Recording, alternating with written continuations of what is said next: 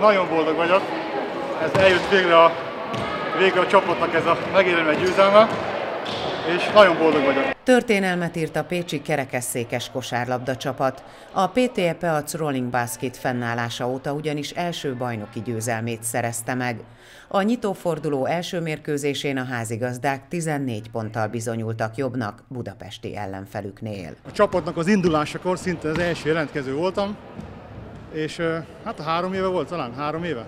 Akkor még csak páran voltunk, és azóta tagja volt a csapatnak, én lettem a csapatkapitány, akkor válogatott kerettagja vagyok, úgyhogy, úgyhogy nyomjuk. A szabályok értelmében minden fordulóban három csapat körmérkőzést játszik, a negyediknek pihenőnapja van. Ezúttal a diós győriek pihentek. Hát túl van teljesen heti két edzéssel a megszokott kett péntek ritmusba. Nyíregyházán ugye Magyar Kupában másodikak lettünk, ez önbizalmat adott, úgyhogy nagy lelkesedéssel készültünk.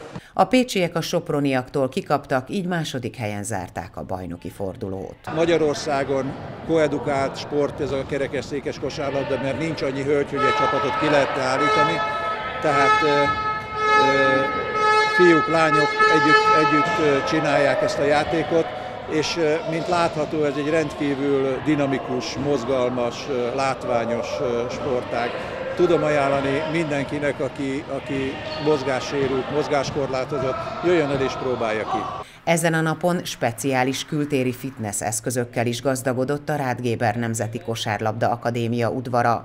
A Baranya megyei Kosárlabda Szövetség kerekesszékesek részére telepítette azt a három eszközt, melyeket a mozgásukban akadályozottak ezentúl díjmentesen használhatnak.